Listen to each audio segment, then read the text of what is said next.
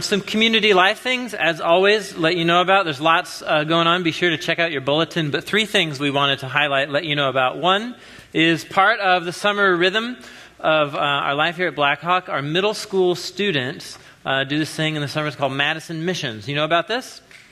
So Great. So instead of going to far off countries, there are lots of needs, practical needs, uh, right here in our own community. And so uh, this week, uh, this is part a third rotation, I think now. Sixty middle school students are going to live downstairs during the day. During the week, uh, they're going to sleep downstairs. But then during the day of the next week, they're just going to be out all over the community, uh, serving in whatever soup kitchens, uh, homeless shelters, these kind of things, just being exposed to the needs in our community and also serving. So please pray for those of you prayer warriors for uh, our church here. Please pray for these students. Cool stuff happens in the lives of these students when they get into a new setting and are serving people in the name of Jesus. So, uh, will you please pray for them? Thank you. Um, second thing, backpack bonanza. So uh, we had talked about this last week. This is our second of our kind of summer drives to be a blessing to our community. And so we are purchasing backpacks and school supplies, and they get uh, connected to a number of local schools that we partner with, especially schools that have a large population of under resourced families that can't get this kind of stuff. So uh, get the information on the table out there. You pick up a bag if you want to buy school supplies, pick up a card if you want to buy a backpack, and you bring that all where and when? Bring it here next Sunday, August 7, and then it'll be clear where you put the backpacks and school supplies and that kind of thing. Sound good? Great. Last thing um, to just kind of let us know about is uh, Chris, Pastor Chris, our senior pastor, is away on sabbatical this summer, and uh, it's two thirds over which he would not want me to say out loud. so, anyhow, so some of you, you may or might, may not know, he's uh, kept up a blog this summer that he talks both about what he's doing, but also about what he's learning. So, part of this was just to have a lot of time to be in the woods and to read his Bible a ton. And so, every week he puts up short little essays about things he's reflecting on that he's learning. The web address for his blog is in your bulletin, and go there, read it. It's really uh, some profound uh, things that he's thinking through and learning this summer. So uh, keep him in your prayers as well. Sound good? Excellent. Great. Okay, uh, story time. Can I tell you a story? I'm going to tell it anyway, so it's not, not, like your yes matters, but anyway, there you go. But thank you for responding. So, story time. Um, some of you know my wife and I uh, moved here to Madison eight years ago uh, so I could enter graduate school at UW. And uh, during part of our season of grad school, was uh, we lived at Eagle Heights in student housing, you know, apartments. Eagle Heights. Any Eagle Heights residents here today? Oh yeah, one. There we go. Video. You guys in video? Okay, I'm sure there's. Know, maybe they all come in the evening. I don't know, or they all go downtown. Anyhow, so Eagle Heights, wonderful place to live. Love the international community there, people from all over the world living there. And we also loved the huge community gardens that exist right on the UW Forest property right next. Do you guys know about the Eagle Heights community gardens? Have you been there before? Unbel- acres, acres, and there's just loads of walking trails along the lakeshore down there. It's beautiful. So here's an aerial photo of one of the Eagle Heights community gardens. There's a whole other one, and uh, so when we moved in, we got a little plot, and uh, you know, April, May, we got busy. This is Jessica's dream come true. She loves gardening. This was my first experience. I was free labor, right? So she paid paid me with lemonade and so on. So uh, this was our little plot, and uh, it was just a mess when we first got it. So, you know, did the weeding, put down mulch and leaves, and then had it rototilled. And then April, May, we got, we got uh, down to business. And so m- my job, she created this map and planted all the things, peppers, beans, peas, zucchini, cucumber, this kind of thing. And my job was to like create all the rows and do all the, the digging and to create this little geometric thing you see before you. And in my humble opinion, this was the most beautiful plot in the row. I was so proud of this, and it was like great. Took pictures of it. We thought this was such a great, such a great thing. So uh, as we do every summer, late June, and uh, we go visit our families, which are in the, uh, the, Northwest Portland, Seattle area. And so we were gone for a little over two weeks, late June. And uh, when we got back to our garden, there had been much growth. much growth in the garden. Uh, but what's the problem, of course? Is that we didn't plant most of what uh, we discovered that was growing here. So here's at least just one of those rows. What? So again, I'm naive, green thumb. This is my first experience, and I was so ticked off. When we got back, I was like, you have to be kidding me. Where are the plants? Like, you can't even spot the plants among, among the weeds. So here's what I wanted to do. Can you guess what I wanted to do? You see it underneath the piano, don't you? what I wanted to do was go purchase the Black & Decker Grass Hog String Weed Whacker. Okay? Now let's say, let's say, oh, let's put the guard down. All right. so let's uh, let's say I waltz into the garden, just charge in. Where Rambo? I'm so ticked off. I want to protect my time and energy investment, and I just go to town. What's going to happen? Will I get rid of the weeds? What will I also get rid of? I, like everything that's growing, everything that's growing, the cucumbers. So so let's say I charge in here. Jessica's response will be to me, you know, of course, like, stop, you fool, what are you doing? like, you're going to destroy everything, you're going to botch the job. And she's right, of course. And well, here's what else would happen. What else would happen is I'd charge in, and yes, I would be vigorously like whacking at the weeds, but then I would see like the lima beans. And I hate lima beans, you know? and so how convenient. How easy might it be to, you know, oh, it's like no lima beans this winter, you know, and so what? So what? I am, I am not qualified for this job. You can certainly say that. It's not what Jessica asked me to do. It's not what I'm good at. You know what I mean? She asked me to do what she told me to do. That's what she asked me to do. And that's my role in, in assisting the, the master gardener. I'm not qualified to whack the weeds with this thing, I will botch the job and, and ruin. I'll ruin everything. The kingdom of God is like this little garden scenario that I've just described to you. How many of you have ears? Should listen. Should listen. I invite you to get out your Bibles and turn with me to Matthew, Matthew chapter 13. We are continuing on in this series. Can I put the grass hog here for display? Uh, we are continuing in this series called uh, Parables of the Kingdom. And we are exploring this kind of core, main message of Jesus. If you were to hear him on any given day, if you had to summarize all of Jesus' teaching in one sentence or two, what would it be? What would it have to do with? The kingdom, the kingdom of God. So this is broken record. We're going to do this every week because this is like the core of what Jesus was all about. So Mark chapter 1, verse 15, this is uh, the Gospel of Mark's way of summarizing everything Jesus taught about and said. The time promised by God has come at last, he announced. The kingdom of God is where? Is here. Not, it's not something that you go to that's far away. It's not far off. It's here now. And so, how should we respond to the presence, the dawn of the kingdom? Repent, change your ways, adapt to this new reality, turn from your sins, and believe believe in the good news. And so we've been uh, using this image to depict what Jesus is getting at here about this overlap of the old creation and the new creation. This is the biblical story that Jesus is announcing here. So we live in this old, broken world. And we have lots of old, broken sin and selfishness inside of us. And God's on a mission to redeem that. And so, this new creation, the kingdom of God, the world as God intends it to be, has come crashing into our old broken one. God's birthing a new creation right here in the midst of the old one, and it centers in Jesus and in his announcement of the kingdom and in his activity and in the movement that he started. And so, in this series, we are tackling each week different parables that Jesus told, little short stories to unpack the implications. What does it mean to live in the midst of this overlap? The season of overlap of the old age and the new age, because that is where we live. And so, this parable we're looking at today is another angle on being a follower of Jesus in the season of the kingdom. Let's jump in. Verse 24, chapter 13. Jesus told them another parable.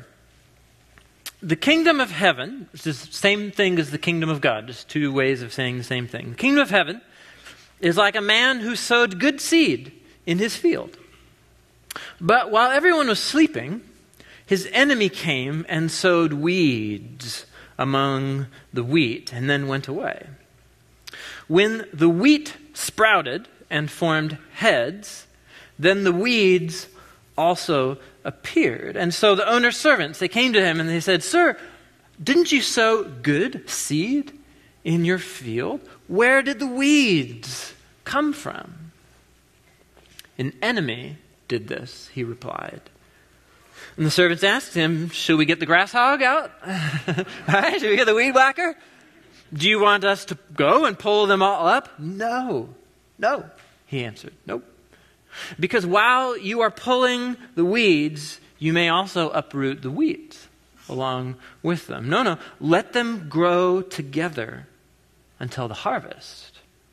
At that time, I will tell the harvesters first collect the weeds, tie them in bundles to be burned, and then gather the wheat and bring it into my barn. And that's the story. Now, Jesus will explain the story uh, in just a few verses down, and we'll turn there in a second. But that's, that's the story that he told, that he told to the crowds. What is going on here? So we can pick up at least one main idea, big picture here. Right now, is the season of the kingdom that's all about growing wheat. All about growing wheat. But there are also problems as the wheat growing project moves forward, right? There are weeds. There are weeds. Jesus is speaking to this reality. God is up to something. He's growing something new in our world, and Jesus claimed that it was happening through him, his announcement of the kingdom. But then there's, there's also immense good and life and grace coming into the world in a new and fresh way, but there is also a lot of weeds growing too. There is still evil in the world, and tragedy, and violence.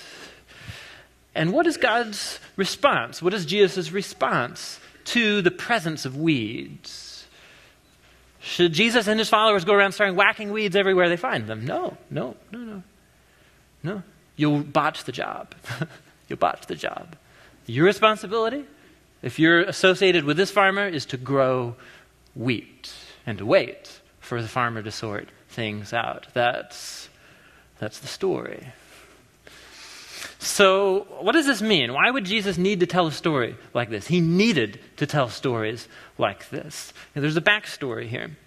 So, Jesus, when he goes around announcing the good news of the kingdom, like what he said here in Mark chapter 1, this is not news to people. A lot of people already have in their minds what the kingdom of God is all about. This is the cherished hope that the Jewish people derive from the Hebrew Bible, the Hebrew scriptures. And the hope of the kingdom of God in most of Jesus' listeners, if you were to create another drawing, might uh, look something like this. So yes, we have our old creation here that's kind of it's messed up, it's screwed up, full of sin and dysfunction and you have God's new creation, the way He intended the world to be. What's the transition between the old creation and the new going to be like? Between uh, uh, the brokenness and the healing of our world, the coming of God's kingdom. And so you read the Hebrew Bible, you read Jewish writings from Jesus' time period, and this hope was alive and well. Messiah is going to come, the king from the line of David. He's going to march into Jerusalem. He's going to establish a new kingdom, regather all the scattered people of Israel. He's, he's going to run out all of those tax collectors, first century mafia, you know, and the sex workers and the sinners and, and the unclean. And he's going to form an army kick out those Romans for sure, kill them all, and then establish a kingdom of peace and justice over all nations and so on. That's the basic hope. And Jesus comes onto the scene and he says, no, no, not so much. Yes, I am announcing the kingdom of God, but it's different. It looks different than what you thought. It looks like this it's this slow transition, it's this season of overlap where the old and the new creation exist together, where the brokenness and the healing exist together in our own lives and in our world. And right now, in this season of the kingdom, it, it's about growing wheat. God is changing people into wheat. And God will bring final justice one day where the weeds are sorted out, but that time is not now. That time is not now, Jesus says. What does this mean? What are the implications of this for being a follower of Jesus? Let's turn back to the parable. Let's unpack a few things here.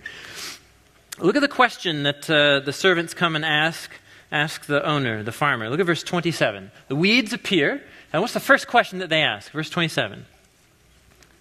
Where did the weeds come from? Like, where did they come from? Didn't, I, hold on, I thought your intentions were to grow wheat. Where did all of these weeds come from? Has anyone ever asked a similar question before? Right? So this is Jesus hitting nail on the head here. So if God really is in charge of the world, if the kingdom is really here, why is the world still full of so much evil and tragedy and pain? What is God, what is happening here? Where did it come from? And Jesus gives a very simple answer. What is his answer in the parable? An enemy did this. And that answer is almost totally unsatisfactory to most of us, right? So, what do you mean? What do you mean? Like, let's hear more about that. To which the Bible says, right? So, where, where did evil come from? Why is it here? And you read the biblical narratives, and the biblical authors are just not concerned to answer that question for us. The core biblical insight that Jesus gives here and that the scriptures give elsewhere is that evil is an invader in God's world.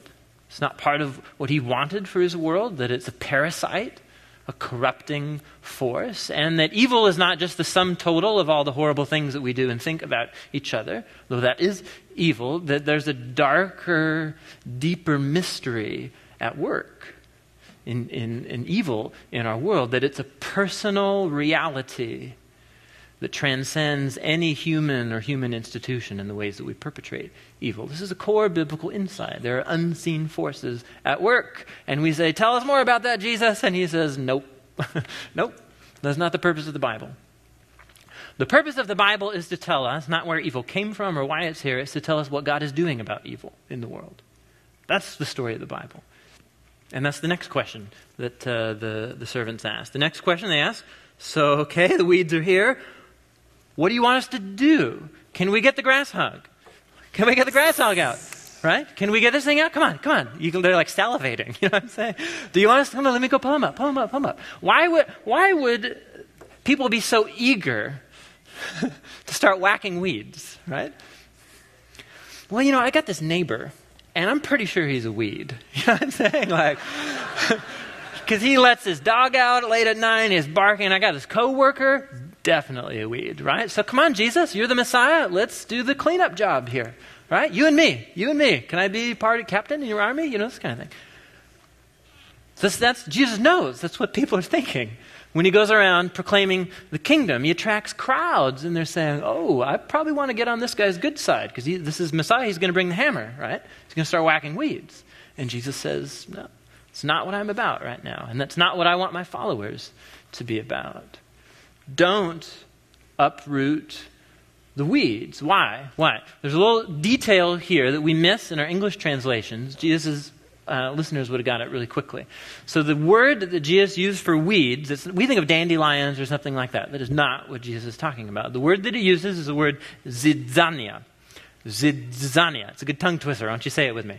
Zidzania. There's some uh, pictures of Zidzania here. Zidzania is known in English as darnel or Old English uh, tares, is, is called false wheat. So uh, you look at wheat on the left there. This is uh, kind of early wheat, I think. I'm not a farmer, but uh, at least that's what I think is early wheat. And uh, so it's still green. These aren't amber waves of grain yet, right? So, so it's still green. And the heads of grain are still kind of new on the wheat there. You would have come, I don't know, two weeks, a month earlier, and you would see the wheat, but minus the heads of grain there. On the, on the right, you see uh, the, the darnel, or the false wheat. Now, a month ago, without the heads of grain on the wheat, how similar does the wheat look to the weeds? Very similar. Very similar. Almost identical in the early phases of growth. When can you tell the wheat apart from the weeds? Look at verse 26. When are the weeds exposed for what they really are? Not when the servants go around saying, Weed, weed, weed, you're a weed, you're a weed. How, how do you know? How do you know what the weeds are? when the wheat sprouts and forms heads, then the weeds also appeared. It's when the wheat becomes fully wheat, that's when the weeds are exposed from what they are. In the early phases, you have no idea. And so Jesus is saying good and evil are a lot more complex and intermixed and intermingled in our world than we like to think, right? The line that divides good and evil goes down right the middle of every single one of us. None of us is wholly good, none of us is wholly evil. And so, am I going to be a good judge of who's a wheat and who's a weed in the world? Am I? I hate lima beans. You know what I'm saying? I'm going to take them out, you know, because I just don't like them. So, it's not a weed, but I don't, you know what I'm saying? This, he knows this. He knows that if he entrusts his followers with the responsibility of being weed police, that it will go horribly wrong. Horribly wrong. That's not the responsibility and the role of the kingdom right now in this overlap of the ages. Right now, the kingdom is about growing wheat. It's growing wheat. Okay, what, is, what does this mean? This is a metaphor, of course, growing wheat. So, what does this mean? Let's, let's unpack this. I think the implications are actually really vast and staggering if we are willing to go there. So, what Jesus is speaking to was what is the role of the community of his followers in the world? What is the kingdom of God's response to evil in the world at this time? Is it to whack weeds? It's to grow wheat. What, what does that mean? So you read the gospel of Matthew, and you, what does this look like for Jesus to grow wheat? So he goes about announcing the arrival of the kingdom, right? That, that God's new world is here. The way that God designed us to live, God's taken an initiative and is offering the opportunity for, for, for us a whole new way to be human. Is this good news? Well, it depends on how steeped you are in your old creation ways, right? It depends on if your mind and heart is so shaped by sin and selfishness, then the good news of the kingdom is actually bad news because it will expose all of the brokenness and junk inside of you. But the moment it does that, it is also good news at the same time because it says if, if, if you're willing to respond, to repent, to turn, God is right there to meet you in your brokenness and to convert you into wheat, change you from a weed into wheat. This is the announcement of the kingdom. So Jesus goes about announcing this, this message, and everywhere he goes, every little town, little village, some people respond to the message and their lives are totally changed by their encounter with Jesus. They form little communities. And you read chapters 5 through 7 of Matthew. This is how Jesus wanted his followers to live in these little Jesus communities. And they go and share the message of the kingdom with their friends, with their family. And some people listen and they're changed and transformed. And it begins to spread and it begins to spread. The wheat grows, people's lives being changed and transformed by the grace of Jesus. And so here we are 2,000 years later on the other side of the planet. I'd say the wheat has been growing. yeah? Wheat's been growing. And so this is what Jesus wants his followers to be about. How do you respond to evil in the world as a follower of Jesus? What did Jesus say? Not the way of the old creation of violence and revenge. No, no. You love your enemies. You pray for people who are opposed to you. You create communities for forgiveness and generosity and share the good news. And this thing just goes viral. just spreads, just spreads. That's the mission of the kingdom right now. Which doesn't mean that God is doing nothing about evil in the world. So the scriptures are, are very clear that there are institutions in place ordained by God to keep evil in check in our world. Paul, in Romans chapter 13, he calls these the governing authorities, right? It's the responsibility of governing authorities to keep evil in check, to bring order and, and justice. And do all human governments do an equally good job of doing this? no. Some do a better job, some do a worse job, some don't do that job at all. But those are the institutions in place right now to keep evil in check. And the church, the community of Jesus, is not, not one of them. Our response to evil in the world is to be very different. It's to be determined by the teachings of Jesus. And Jesus says, My followers are about the wheat growing program right now in the world. It's about the message of the kingdom, people's lives being transformed, spreading, spreading, Jesus communities, spreading, little outposts of new creation, going, spreading, spreading, spreading. That's the mission of the kingdom right now. Because just imagine what would happen if the community of Jesus' followers took upon itself the responsibility to become the weed police of the world. Oh, wait, maybe that's happened a time or two. right?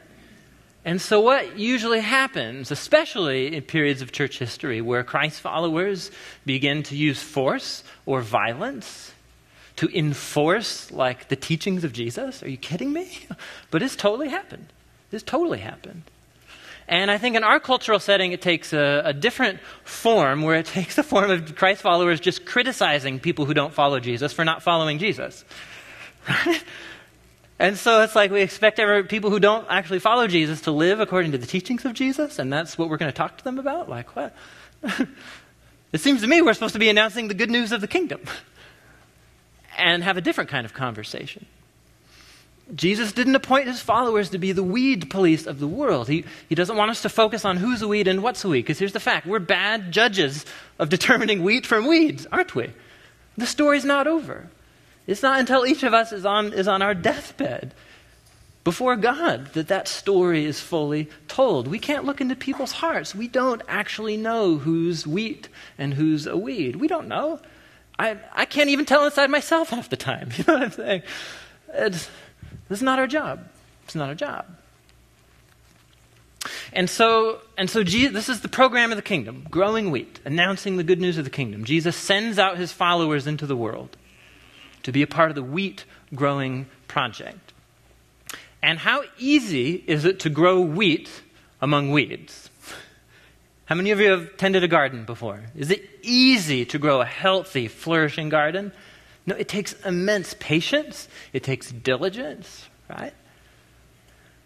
And what's going to carry you through? What's going to carry you through those times of hardship where it's difficult, where you don't want to flourish as wheat, where you don't even want to be wheat yourself, much less help, help anyone else get there. To answer that, to give people hope and courage in the wheat growing project, he explains the parable. Go down to verse 36. Then he left the crowd and went into the house. His disciples came to him and said, uh, Will you explain to us the parable of the weeds in the field? It wasn't totally self evident, Jesus. So can you help us out? He answered, The one who sowed the good seed is the Son of Man. This is Jesus' favorite uh, title to refer to himself, the Son of Man. There's a whole, this is a whole like message and teaching series in and of itself. Is he gets this term from the book of Daniel in the Hebrew Bible, book of Daniel, chapter seven, and the Son of Man is uh, a figure of the Messiah who comes to reign and bring justice to the whole world. And so, the one who sowed the good seed is the Son of Man. The field is what? The world. The good seed stands for the people of the kingdom. The weeds are the people of the evil one. And the enemy who sows them is the devil, that personal presence of evil in our world. The harvest is the end of the age. The harvesters are angels. As the weeds are pulled up and burned in the fire, so it will be at the end of the age. The Son of Man will send out his angels. They will weed out of his kingdom everything that causes sin and all who do evil. They will throw them into the blazing furnace where there will be weeping and gnashing of teeth. Then the righteous will shine like the sun. This image also from Daniel, Daniel chapter 12. Shine like the sun in the kingdom of their Father. Do you have ears? How many of us have ears right now? should listen. Remember, this is Jesus' phrase say, cookies are not on the bottom shelf. Don't be lazy. Think this one through. Think it through. So there's a whole lot going on here. Let's link the two parts of the parable here. First, first off, what is Jesus' point? Jesus' point is he's sending out his followers to grow wheat among weeds, to be light in the midst of darkness. And that is a very difficult task. It's very difficult.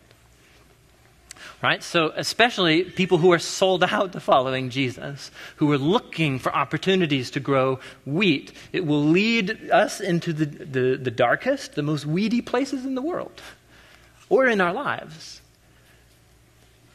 And so, how easy is it to address the dark skeletons in our closets? How easy is it to help a friend through a crumbling marriage or recovery out of addiction? It's incredibly trying, it's testing, it's difficult. How easy is it to go out in the love and the grace of Jesus and to do something about, about poverty or hunger in our communities, to help people out of gangs, to address domestic abuse or sex trafficking, whatever? That's what Jesus wants his followers to be doing. Go into the darkness, be light. Go into the weeds, grow wheat.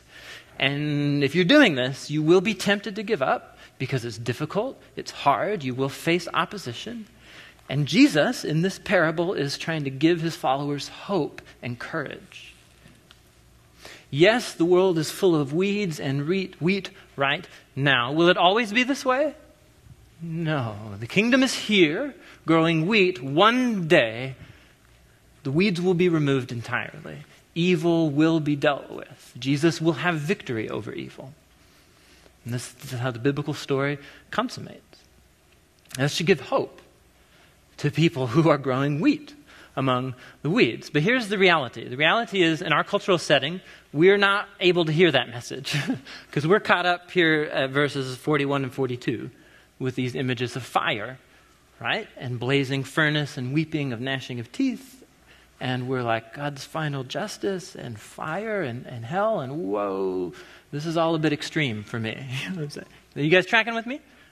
So, this, this is the issue in our cultural setting that comes up when we read this parable, and we miss the point that Jesus is making altogether. And so, this is an important issue. This is an important issue. The Bible's teaching on, on final justice. And part of what makes this challenging is that most of the biblical authors use imagery and metaphors when they talk about the reality of God's final justice. So you have darkness or fire or weeping, and what, is, what does this mean? So I can't, I can't hope to address it here because that's not what this message is about. So uh, a few resources for you. A year and a half ago, Chris and I did a, a teaching series on hard questions that come up when you think through the gospel and the Christian faith. And so I did a whole message, a whole teaching on hell, sorting through different Bible passages, images, and so on. After that, Chris and I did a live Q&A session where we uh, just talked about even more questions from the audience and so on. We're putting both of those uh, resources back up on the sermon page this week. So I encourage you, this is a real issue for you. You want to think through it. Get set aside some time this week, open your Bible, and uh, use those resources. And I think I think they'll help you. In our setting, I think the core issue is this. Here's the bottom line. In our Western, kind of democratic, rights oriented culture, our highest values are equality and fairness. And so we read these parts of the Bible, and our biggest concern is is this fair? Is God going to be fair? This seems unfair to me, some of these images, and I don't, I don't get it. And I think we can speak to that question really simply, really clearly do we have reason to believe that the Creator and Redeemer God will be fair when He brings final justice to our world? Answer? Absolutely. Absolutely. That's why He's not going to give the job to us. do you see that? That's why He's not going to give the job to us, because we'll botch the job. He's the one who can see into people's hearts. He knows the story behind the story, and He will do what is right when He sets all things right in our world. And that is supposed to give us hope as followers of Jesus. And so here's what I think is kind of the sad irony is that there's a lot of protest in our culture, Western Christian culture, against the idea of God's judgment or hell or final justice and this kind of thing. And there's a sad irony here, I think, is because these, these images, a parable like this, is meant to give Christ followers hope. But will, it will only give you hope if you're actually out there growing wheat and facing opposition and tempted to give up. Because if you're not, well, then this just seems also like severe and extreme, right? So here we are, Western like Christians, and like most of us are not persecuted for our faith. I doubt you received a death sentence this week for being followers of Jesus. You know, for the most part, it's just kind of, we're the most comfortable Christians in Christian history. And we kick back against this idea. But let's take a field trip. Let's go visit some followers of Jesus uh, who are gutting it out and have sold everything, sold out for the wheat growing program. Here's a, a picture of a couple, uh, Yusuf and Fatima Nadarkhani. and they are followers of Jesus. Uh, they live uh, in a town called Rasht. It's a few hundred miles north of Tehran. Where's Tehran? It's in the country of Iran. Uh, Yusuf and Fatima, they're pastors of a church in their town. And a month ago, June 28th, uh, they were arrested by the government police uh, and they were tried by uh, the Supreme Court of Iran for treason. For treason, because they have been sharing the good news of Jesus in their neighborhood. Fatima has been given a life sentence in prison, and Yusuf has been given a death sentence, death by hanging. Five days later, on July 3rd, I mean, this is like not, not even a month ago, uh, the Supreme Court of Iran issued a condition that he will be spared if he recants and rejects his faith in Jesus. And that's the last anybody's heard. And if you want to know more about their story, go to the website there, persecution.com, and you'll hear dozens of more stories like this. So let's do a field trip. Let's visit Yusuf and Fatima in the prison cell, and let's read them this parable. Do you think the questions they'll be asking when we finish reading the parable are, oh, it seems so extreme? That God would bring and hold everyone accountable for their behavior, that God is going to bring justice to those who oppose and reject what He's doing in the world. Do you think that's the question they're going to ask? No, what they're going to say is, ah, that's what I need to hear. That will bring courage and hope. That however much they've lost, however much they've given up, Jesus has the final victory over evil in our world. Can I get an amen? And I'm not the one who's qualified to say what that should look like. I will botch the job. But Jesus will, will do it right. He'll be just, he'll be fair, and that should bring hope. Should bring hope. That's what this biblical teaching should do. So, this is one of those biblical teachings, it's like last week, where it will only make sense to you if you are actually following Jesus and growing wheat in the midst of weeds. Then the teaching makes sense and it brings hope. But if I'm just kind of doing whatever with my life and I'm not really growing wheat in myself, I don't really care, whatever, Jesus, yeah, whatever, then of course this is going to seem bizarre and extreme. Because you're not actually following Jesus. And so I think this is the challenge that this parable gives to us. For those of us who are more interested in our lives in building our own little kingdom, this parable gives a challenge. It's saying, What are you doing with your life? You know? Are you going to be a part of the wheat growing project? Are you allowing God to deal with the weeds inside of you that He can use you to grow wheat elsewhere in the world and in the lives of other people? It's a challenge. What's your life about? There are others of us who are totally sold out to the wheat growing project, and you're getting tired, and you're tempted to give up because it's hard. It takes a lot of work. It takes patience and diligence. And in this parable, Jesus is saying to you, He's saying, Don't give up. Have patience. Have hope. I will deal with the weeds. Right now, your job is to be faithful and to trust. So I don't know how this is a word of God to you today. It speaks a word of challenge and to comfort, depending on where you're at and what you bring in the doors. But I would challenge you to let to let Jesus speak to you. If you have ears, you should listen to what Jesus is saying. We close us uh, with a word of prayer.